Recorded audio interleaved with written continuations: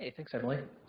Um, so I want to uh, give a brief overview first of what Corrode is and what it is not, and I'd like you to hold questions while I do that. But uh, once I've gotten through that, we'll have an intermission. I'd like to welcome any questions then and throughout the rest of the talk. Um, at that point, uh, I want to also talk about testing and community building. So, um, so what does Corrode do? Corrode is a tool for automatically translating C source programs into Rust source code. Um, in the process, it's a, it's a semantics preserving translation. I'll talk about that in a second. Um, and uh, it has a nice side effect of, um, of making things that are implicit about C explicit in the Rust source. So it's, um, it's got a number of useful uh, side effects when you, you run corrode on C source. You, you learn some things about what your C actually meant that you may not have realized. So let, us talk about those things. Um, so semantics preserving.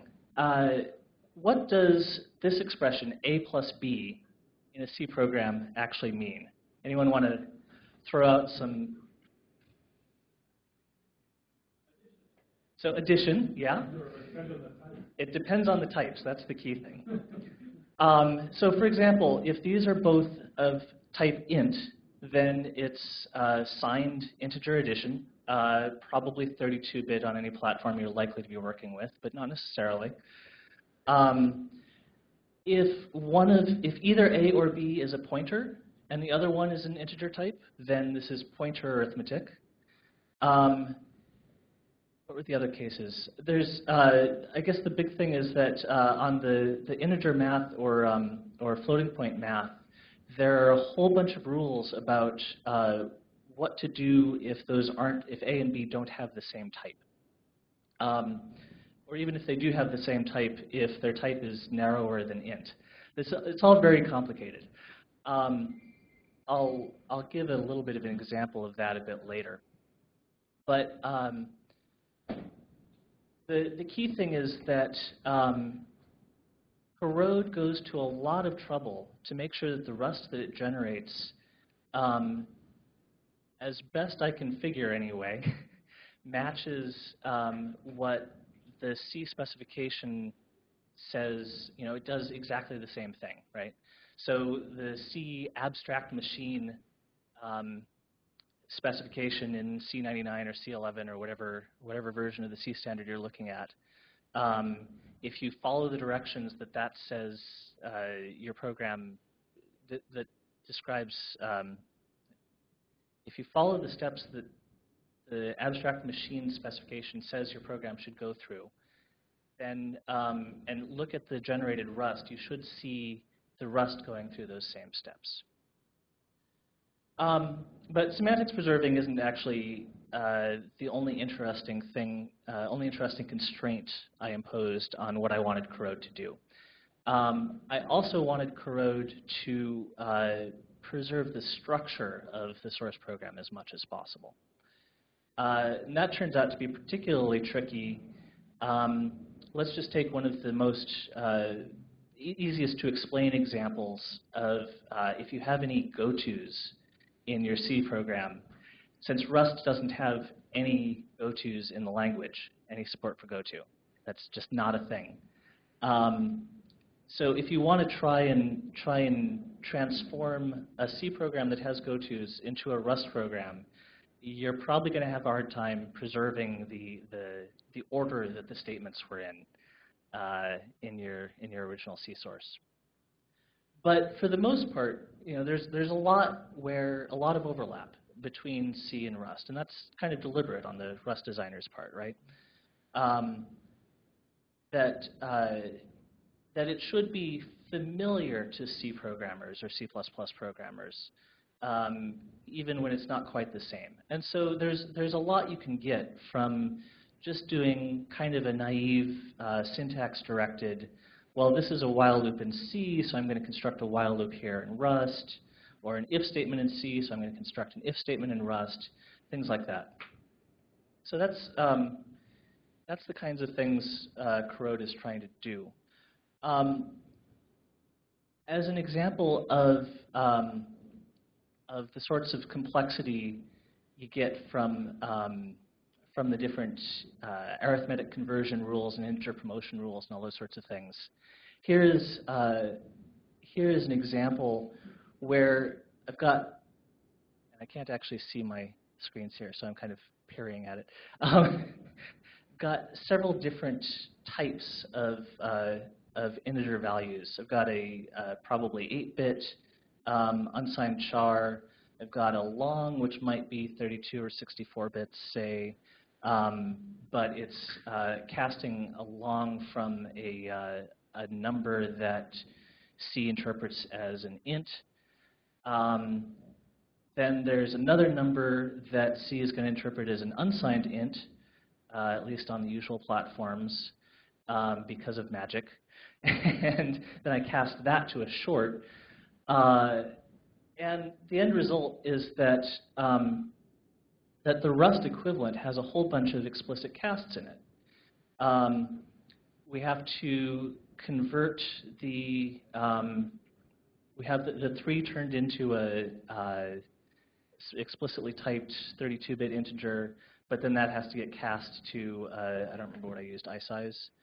Um, the, uh, there's an unsigned 32-bit value that then gets truncated by casting to a signed 16-bit value and then gets cast again to widen it back out to the type that we're trying to do the whole computation in.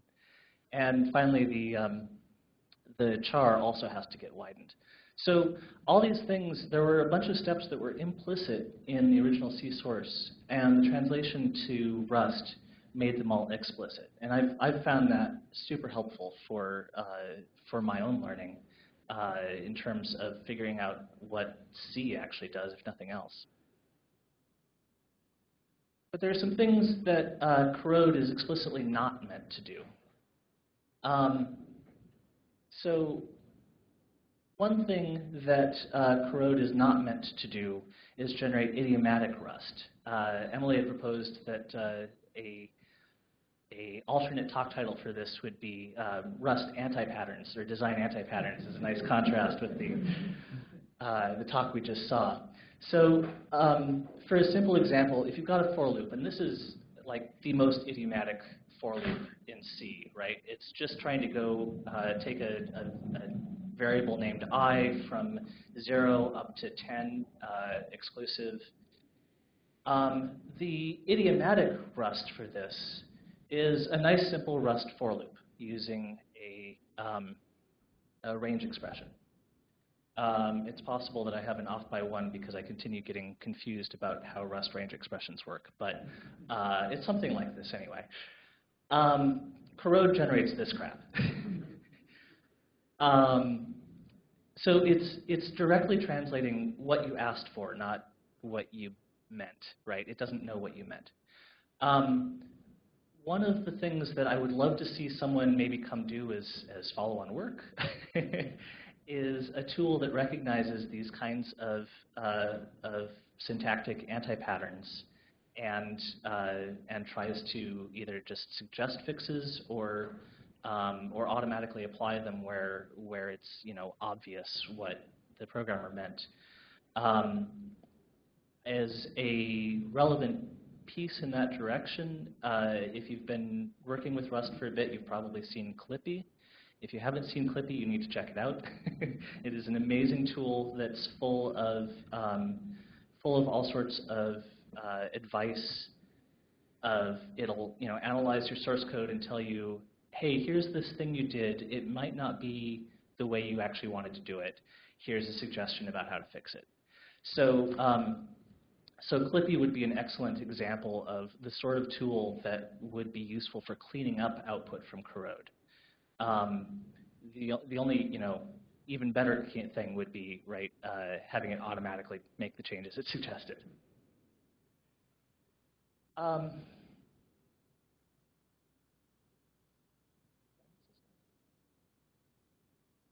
oh, uh, the other thing that Corrode doesn't do yet is translate all of C. Um, so there are uh, there are constructs um, that it just won't touch right now. Uh, it won't handle switch statements at the moment, for example, for the same reason that it doesn't handle uh, goto yet. There's a lot of uh, terrifying control flow things you can do with switch statements. Um, there's a variety of other things that it, it uh, either doesn't even try to translate and will just report an error, or it tries to translate it and gets it wrong. I mostly try to at least uh, detect if I'm going to get it wrong and refuse, but uh, it's, it's not even always perfect at that. Um, so we'll cover some examples of that a bit later. Um, so with that overview of what Corrode is trying to do and what Corrode is not trying to do, are there any questions so far? A couple in the back there. What's the biggest program you've tried it on?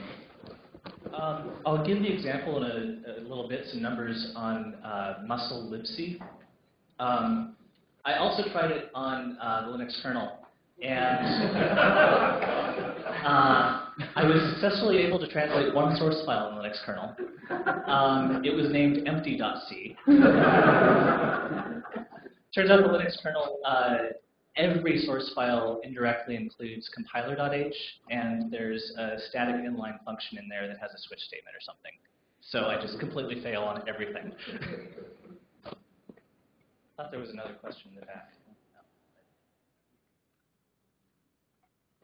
Yeah, on your previous slide, you had uh, the for statement is kind of weird, as the plus plus is, is a prefix instead of a, as a post. Sure. So it's weird. Is that just? That's um, that's a matter of personal preference. Uh, the, the, um, it doesn't make any difference in that for loop whether that's a prefix or postfix increment.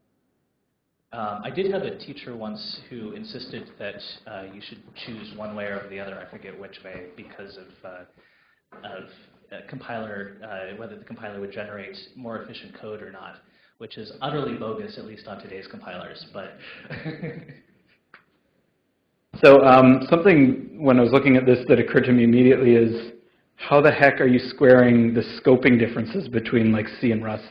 Because there's some awesome scoping stuff I know you can do in Rust, and I was trying to remember the particulars in C, and like I, I can remember enough to know they're not the same. Like you know, if and for. Like, so how are you kind of navigating that? Um, now, by scoping, you just mean the, the visibility of variable declarations yeah. in different scopes. Um, that mostly fell out naturally. Um, there's stuff you can do in Rust that you can't do in C. Um, but that's fine, right? I only need to be able to do everything that C can do in Rust. Um, there are uh, a number of interesting cases where um, wildly different looking things in C generate the same Rust. Um, for example, if statements and ternary conditionals both translate to if expressions in Rust. Um, what was another example? Uh, I had one in my head a second ago, I don't remember. But, um, but that's come up a few times. Um, I don't know. I'm not sure if I answered the question, but. Yeah, I, think probably Okay. oh, yeah. So C is notorious for having a bunch of things where it's the spec's undefined or vague or terrible. Yes. Um, so what do you do with all those things? So an interesting um, thing about that is undefined behavior means the compiler is allowed to do whatever it wants, right? And so I'm allowed to make Corrode do whatever I want it to. Right. Um, what I've been trying to do is be kind to the programmer as much as possible. Uh, so for example, um, signed integer overflow is undefined in C. Uh, if you have a signed integer variable, and it's at the maximum value that type can represent, and you add 1 to it, uh, C does not specify what your program will do at that point. It's uh, the the usual sort of joke is it's allowed to delete your hard drive or you know kill kittens or whatever. So um, so that's not very very friendly, which is why in Rust um, they made the decision that uh, signed integer overflow would in uh, debug builds panic, and in release builds. Uh, unless you specifically turn on the panicking behavior, which you can also do. Uh, in release builds, it would uh, wrap, which is what programmers usually expected it to do anyway. um, and so what I've done with Corrode is for signed, um, signed arithmetic, I just translate it, you know, if you have a plus operator in C, it translates directly to the plus operator in Rust. And that has the nice advantage that your Rust is about as readable as your C was, uh, which maybe not very.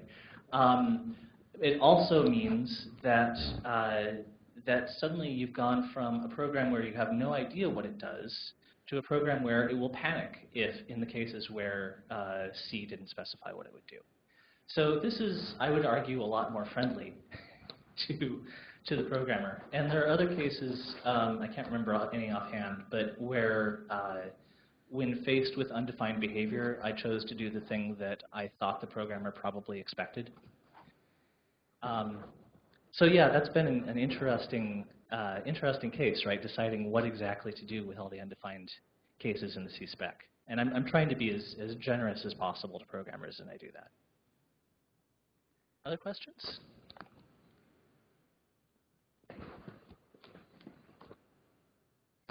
Are you using an existing C front end, or are you rolling your own?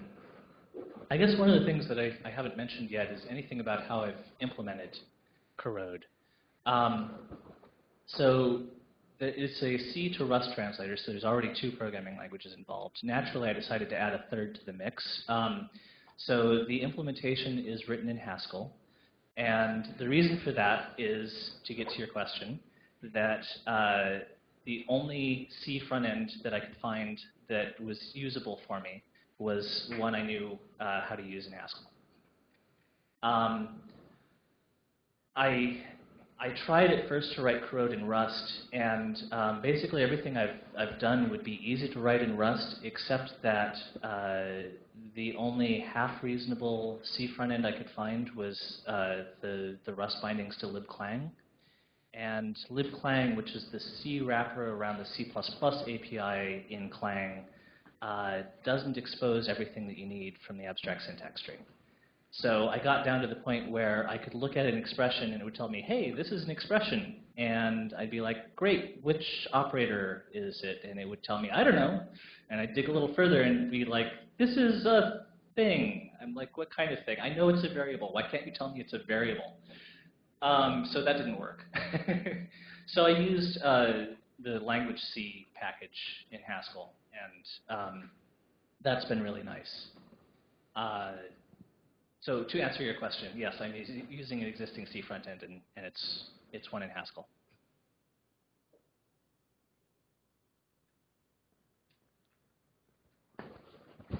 Well, maybe this is something you were planning on getting into, but I'm curious to see how the borrow system interacts with this. So are there borrow checking problems you can catch in your C programs when you translate it into Rust?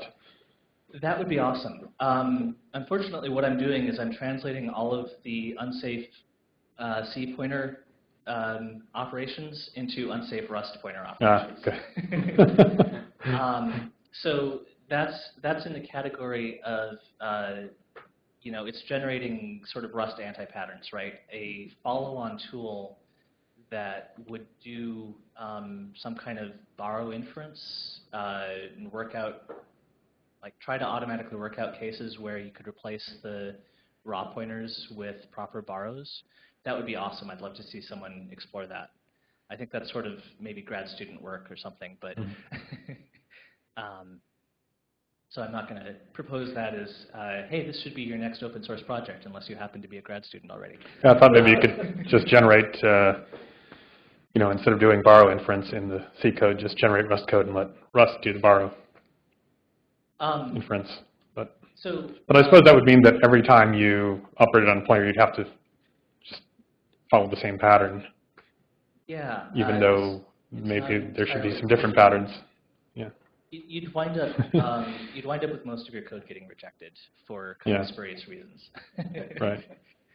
Um, so I, I chose to do the thing that lets you quickly get to uh, to Rust that does the same thing that you're, you know, it's exactly as safe as your original C program was, right? And then you can go through and hand edit it and Yes, right, make those right. improvements. Yeah. Yeah, so every function uh, that I generate is marked as an unsafe function. Which seems fair, right? Sure. Uh, shall we move on? Um,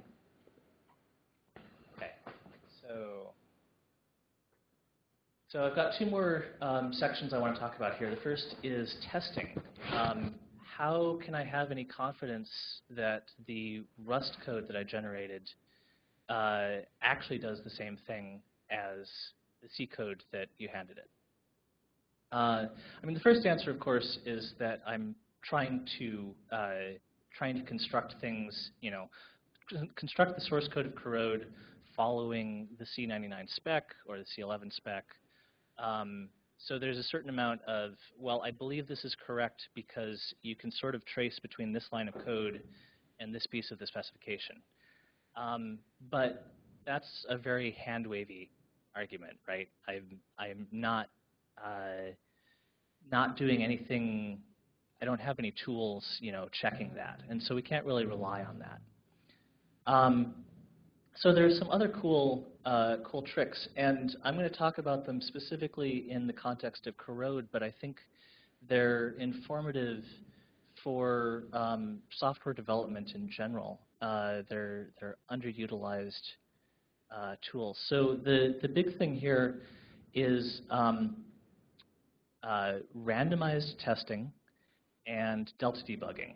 Um, so there's a tool called CSmith. Um, this really nice uh, tool from University of Utah, I think, um, that generates random C programs. That's all it does. Just, just uh, I want a C program. Here's, give me a source file. Uh, it'll have some number of functions in it, uh, some number of global variables, some number of structs and unions and enums and whatever, and each function will have some number of statements, which may be if statements or uh, or just simple statements or while loops or whatever, and each time it's trying to insert another thing, it randomly chooses which thing to insert next. Um, they've done a number of things like, uh, you know, it's it's only pseudo-random, of course, and so if you give it the same seed and the same configuration flags, you'll get the same source file out. Um, things like that. So that's that's uh, super useful because uh, when you want to um, want to uh, just share. Um, no, I don't actually want to say why that's useful. That's that's just useful. I'll stop there. Um, but uh, so I can generate random C source files, and then what I can do with them is uh, try compiling them with GCC or Clang, um, and get an, a binary out, and I can run that, and I can see what it does. And I can also translate it using Corrode, compile the output of Corrode using rustc, get a binary out of that, see what it does. And if they do the same thing, that's nice. And if they do something different, well, I have a bug, and I'd better figure out what it is. um, so I, I now have a little, um, little Python script in the Corrode repository that you can run if you want to that uh, just repeatedly runs csmith, uh, tries tries this testing strategy, right? Uh, see whether whether both versions, both binaries produce the same output, and if they don't, well then the question is, how do I find this bug? I now have uh, thousands, several thousand line source file. Somewhere in it, I translated something wrong. Um, and it's not just that it's several thousand lines, right? Each line uh, is likely to have some ginormous expression that's utterly meaningless. right? So I can't just stare at it and say, oh, I know, I, I did, you know, left shift wrong again. um, so, uh, so that's where the second piece comes in from the same people because they had the same problem. Um, this is a tool called C-Reduce, and what it does is it goes and tries deleting parts of the program. Just, just delete stuff. Uh, the big, biggest thing, and the thing it spends the most time doing is just randomly choosing lines to delete, seeing what happens. um, but it has some other tricks it does to, uh, to be a little more efficient sometimes. Um, so the trick here is, uh, you know, I ran CSmith, I got a program that um, failed this, this test of uh, the two different programs produce different results. Um, I want to get another program that is smaller but fails in the exact same way. And figuring out how to specify what fails in the same way means gets a little tricky. But, um, but once you've figured out how to specify that, then you just give CReduce your, um, here's the bug I'm looking for. Keep deleting things until you don't see that bug anymore, and then back off and try deleting other things, right? So you only delete things that weren't important to the bug you were, you're facing. Um, and this has been super helpful in, uh, in helping me track down, you know, going from those several thousand line source files to, oh, here's the five lines that I need to feed corrode to get a wrong output. And that is amazing. So um, that general technique is called delta debugging. C-reduce is specifically targeted at, uh, at C source, but there are other tools for doing this kind of thing on um, other kinds of files. And these, these both, both the randomized testing and the delta debugging are super useful techniques, um, and I recommend you, you see whether you can apply them to you know, problems you run into. Um, the, another way that I've been testing corrode is by trying to take uh, the musl C library, which is meant to be a small, lightweight implementation of all the sorts of things that you expect normally to have in a, a full C environment. So your printf implementation and your memcpy and uh, atexit and all the all the usual sorts of things that the C standard specifies or that POSIX specifies, those sorts of things. So there's uh, something like 1,300 uh, C source files that are actually getting built on uh, on my laptop on an x86-64 system. Um, Corrode is currently able to translate about 20% of those to Rust, which I feel pretty good about, frankly. um, of those, uh, there's, what is that, about 70 source files that um, Corrode translated, but they didn't compile correctly when I ran them through rustc. Um, there's a number of different reasons that that comes up. Uh, the biggest, the, the, most common one is that uh, musl has a fairly common pattern, and I can't even say they're wrong to do this, of um, declaring a vari variable that's uninitialized, passing it by reference to a function um, where the function doesn't read that variable, it only writes to it and then when the function returns, then they'll read it. And Rust doesn't know how to how to deal with that. Um, so Rust just says, ah, this looks like it might be uninitialized. I refuse.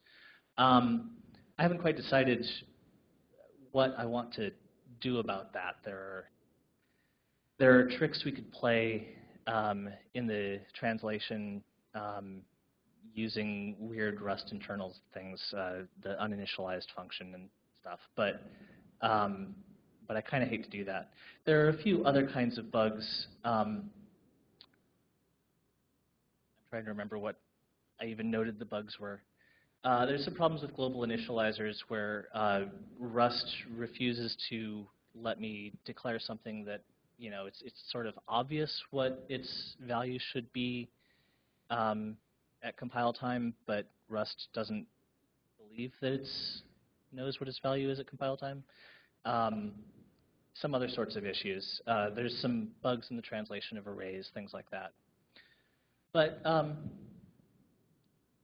And then there's the other, the other point that I haven't actually figured out how to get uh, all of the resulting object files to link into musl uh, that I can actually test. So uh, I don't know whether any of that code is translated correctly, but uh, you know, it, it seems promising. There's um, there's a lot that's already working there, I guess is my point.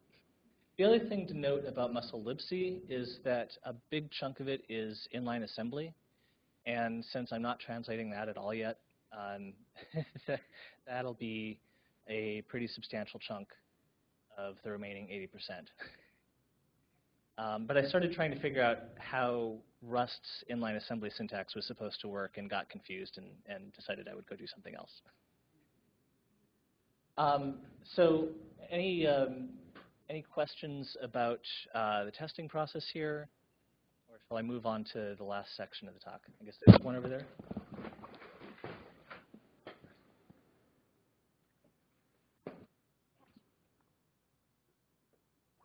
What do you do if the program you're running gets an infinite loop? Do you have a certain timeout and kill the process? Of the C-Smith generated Yeah. programs? Yeah. It's, um, the C-Smith developers and the C-Reducer developers recommend having a timeout because there's no guarantee that C-Smith will generate terminating programs. uh, most obnoxious cases I've run into actually have been cases where um, it wasn't actually in an infinite loop, but uh, it was Just so close to my timeout that one version would terminate and the other one wouldn't within the timeout. Um, and the timeout I set was eight seconds, but you know, you pick any timeout and you're going to get some programs being right at that edge just randomly.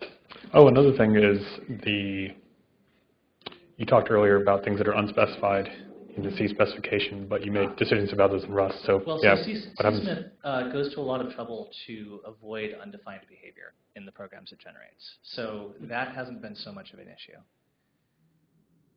Okay, thanks.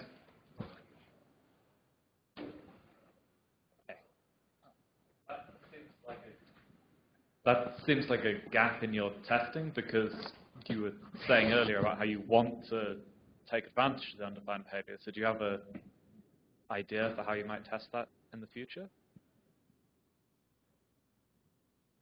No, I hadn't thought about it. Easy, thanks. Next question.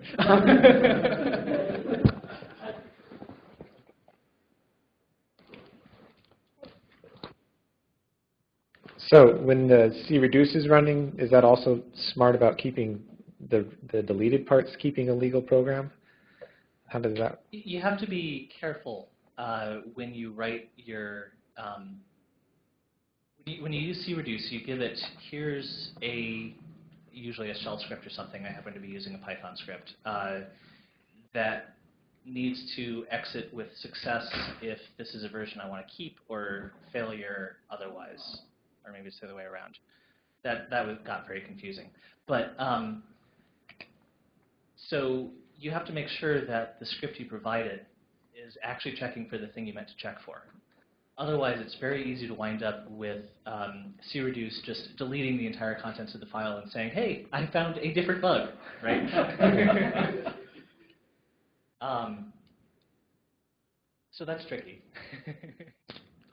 So an, another question I had on the musl part, when you're talking about linking that, I guess with only 20% built, are you trying to link the other 80% that was built normally? Yeah, so I, I wrote a little script that um, tries to run corrode and rustc, but uh, if that fails, then it runs GCC with the original arguments. Um, so you always wind up with an object file.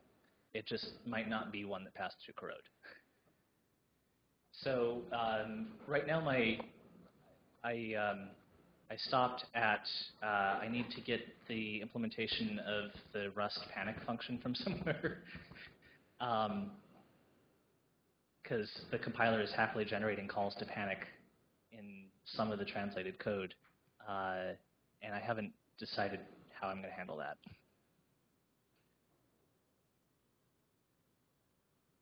Okay, let's talk a little bit about um, community and uh, contributing.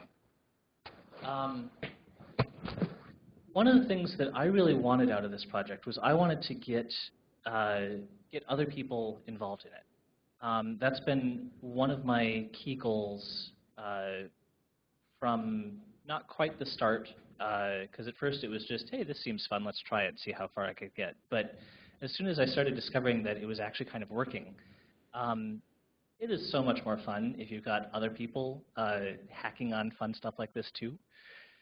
So um, I want to talk about a couple specific things that I've been doing to try to uh, help people get started and, uh, and encourage people to participate. These aren't the only things I've tried, but, um, but they're the most interesting, I think. So um, one of them is a technique generally called literate programming. What I've got is, uh, let's see if I can hit the right. Yes. Um, the source file for um, for most of Corrode is um, is a Markdown file that has Haskell source um, interspersed in it. And so I can use um, Pandoc to generate a PDF from this, or um, GitHub with a little bit of hackery will just render it nicely as HTML. Um, and the result is I have 41 pages of internals documentation that's executable, right? this is the implementation. Um, and I can throw in uh, throw in snippets of C or Rust source uh, to illustrate various points and have them be nicely pretty printed and everything too, um, syntax highlighted, I mean. Um, so this has been really cool, I think. Um, it's, it's encouraged people to actually keep the documentation up to date as they're working on features um, because all of the internals documentation is right there in the source that they're hacking on. Um, it's been helpful for people trying to get started. You know, they can look through this and, and uh, hopefully have a better idea than just trying to read my somewhat dense Haskell source. Um, so this has been a really neat trick, and, uh, and I think people should try using literate programming more often. Um, I'm hand waving a little, you know, if you asked Don Knuth uh, what literate programming is, this is, um, this is not quite everything that he would have described it as, but, um, but this has been enough uh, to get the advantages that I wanted to get out of it. Um,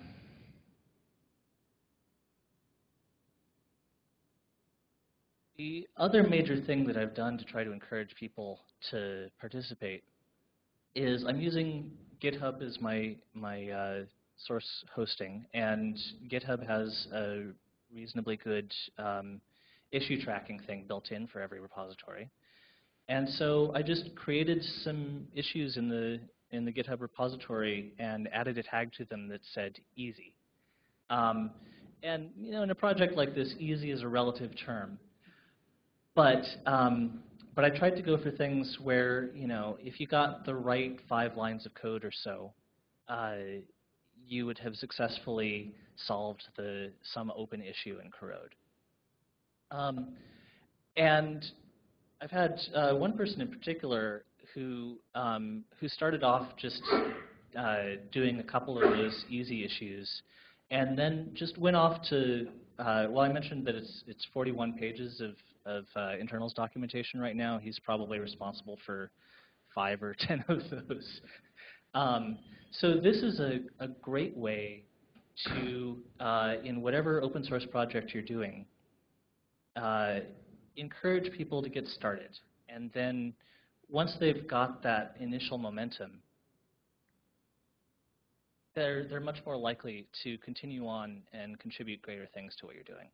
Um, the Rust project does this, and I definitely recommend checking out, uh, you know, Rust compiler or standard library, uh, easy tagged bugs. Um, and it's a thing I think more open source projects should do. So um, that is my overview of Corrode and some techniques I'd like to encourage people to, to try in your own projects. Um, I think, do we have time for a few more questions, Emily? Sounds like, yeah. Any other questions? Uh, so right near the beginning, you said the primary limitations, like uh, control flow wise, go to and switch. Do you have an idea about how you might handle that in Rust? I do. Unlike your last question, I have an answer for this one. um, yeah, so there's um, there are academic papers going back to the 1970s or thereabouts on basically this question. Um, the, so the, the general question uh, was, you know, we had these programming languages, the early programming languages, uh, assembly languages and, and uh, the, the earliest high-level languages that were built sort of entirely around unstructured control flow. You'd have if statements and go-tos, and that was kind of your, uh, kind of all you got. Um, and then people started arguing, well, you know, go-tos may be a bad idea. We're winding up with all this messy code. Um, so are we losing anything by, um, by maybe just removing go-to from our languages? Uh, and obviously the, the Rust language developers have decided that no, we're not losing enough to justify it because they did, right? Um, Java made the same choice, uh, what, 20 years earlier. Um, so is Python, so have a bunch of other languages that, that people are happily writing software in, right? Um, so, uh, but there's the, the um, result of, of all these different academic researchers asking, you know, uh, what happens if we just don't have GoTo in our language? was a whole bunch of papers saying, well, here's how you can translate um, something that has go-tos into something that doesn't. Um, and they vary uh, in terms of uh, what they assume the target language does have. Um, for example, uh, Rust and Java both have uh, labeled loops. So you can break out of a loop um, that's not just the innermost closing loop. Um, and that lets you capture some go-to patterns cleanly that you can't uh, can't easily capture otherwise. Um, and so some papers assume that your language has that and others don't. And um, some papers uh, talk about, uh, well, these are the kinds of programs we can translate, and for anything else we have to just throw up our hands and say no. Um, other papers say, well, all right, if you decide you still want to translate those programs that have what's called irreproduci irreducible control flow, um, then here are things you can do. You can duplicate sections of code, or you can add Boolean variables, or um, so there's there's a bunch of research um, that that addresses this question of how do we do this, and it's mostly a matter of uh, someone deciding it's, it's time to actually do it in Corrode. Um, there's some tricky bits in C in particular uh, because when you use goto to branch past um, a variable declaration, um, C uh, is very specific about uh, what whether the the uh, contents of that variable are defined or not. um, and you might branch past that variable declaration multiple times, and you have to figure out whether you whether that variable went out of scope since the last time that you branched past it. And um, so all of that gets uh, gets nasty, and figuring out how to keep track of of all the relevant information in order to preserve C semantics is tricky. And then, of course, there's the fact that I really want, uh, if you have simple control flow, if you wrote an if statement, I'd like you to wind up with an if statement in the same spot in your generated Rust. Um, I'd like to preserve the order that variable declarations happen in, preferably including if you interleaved those variable declarations with other code. Um, so again, there's, there's sort of a bunch of bookkeeping to do to get all of this right. But um, I have a rough idea how to do that. There's an open GitHub issue uh, on Corrode with a whole bunch of discussion from several different people on how we could handle go-tos and switch. Um, and I'd love to see someone pick it up. Other questions?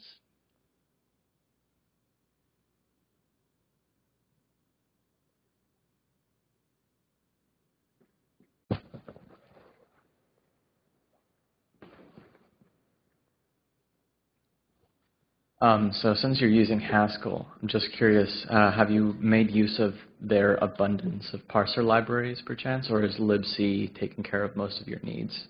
Uh, language C is doing all of the parsing I need. Um, there's an interesting question about, um, so one of the limitations of Corrode currently is that it has to operate on C source that's already been preprocessed. Um, and that means that if you have C preprocessor macros or things like that, those don't show up uh, with the same structure in the generated Rust. Um, so it, it, would be nice, maybe, to have some kind of, I'm not even quite sure what this looks like, some kind of more clever parser that knows how to deal with uh, interleaved C preprocessor tokens and uh, and actual C tokens, right? Um, and so I thought a little bit about maybe it's worth um, rewriting the entire C parser to do that. But uh, it's certainly not worth doing soon, I think.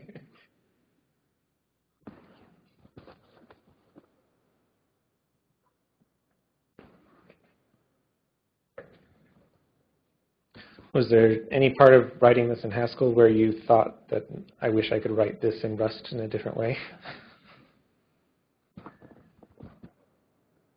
Um, no, I don't think there's anything uh, where I felt Rust would have made it easier to write Corrode. Um, but one of the things I've been trying to do is um, I've been trying to make sure that I can at least have a hand-wavy justification for everything I use in Haskell where I could say, if someone who knows Rust came to me and asked, what does this mean? I can say, oh, this is just like this thing in Rust. Um, so I've been trying not to use, there's, there's plenty of magic that, that people have, uh, have added to GHC over the last 20 years. I've been trying not to use uh, anything that's too magic. Um, generally uh, also trying not to use very many libraries, uh, which mostly hasn't been a big deal. Um, so this is maybe maybe some of the most Rust-like Haskell anyone's written, but um, but no, I don't think there's anything where I wished I had a particular Rust feature. The main main reason for that, I think, is because uh, Rust borrowed so many things from Haskell anyway that it's